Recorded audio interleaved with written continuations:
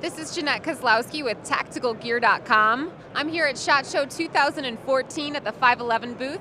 I'm here with Dave, and he's going to show us some Kodiak pants. Hey, thanks. Uh, so this is a new pant we have that's just come out called the Kodiak. It's a 12 and a half ounce cotton canvas pant. It's a very durable pant, but we gave it a lot of functionality that you typically wouldn't find in a pair of pants. So first on the sides, we have double hand pockets. So you have a front hand pocket, and then kind of a concealed hand pocket right behind it. Great place to drop in maybe a little pistol or something else you wouldn't want to have everybody see. Uh, but nice little double pocket there in the front. We also reinforce that pocket, so if you want to clip on a knife or a flashlight, it doesn't wear out the pocket as well. Going to the, to the crotch, this has a full gusset on the inside of the crotch to give you a full range of motion. And then because range of motion is important, we also do articulated knees. The knees uh, also have a double reinforcement and allow you to insert a knee pad for extra knee protection.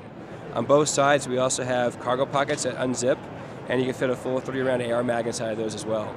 On the back side of the pant, we have double pockets. So you have a traditional uh, rear pocket here, and then we also have double mag pockets on the back side that you can drop those into there.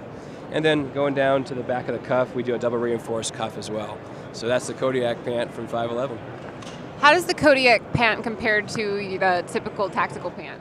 Well, this one's a much heavier weight pant, so this would be a great carpenter pant, for example, or a, uh, a little bit heavier weight. So if you're in a winter environment or cooler environment, you might want to gravitate more towards this. If you're just going to be outside doing uh, heavier work, uh, if you're going to be brushing against uh, wood debris, tracking through the woods, you know, or just you know, again working with construction, it's a you know, that's that's a pant you probably want to go with.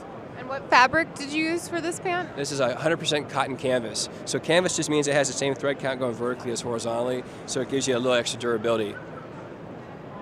And when is this pant going to be available? This is available now.